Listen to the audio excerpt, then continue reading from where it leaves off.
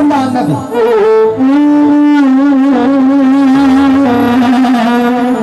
أنت خطير خطير خطير. يا بابا انت شغال مع أخطر راجل في العالم.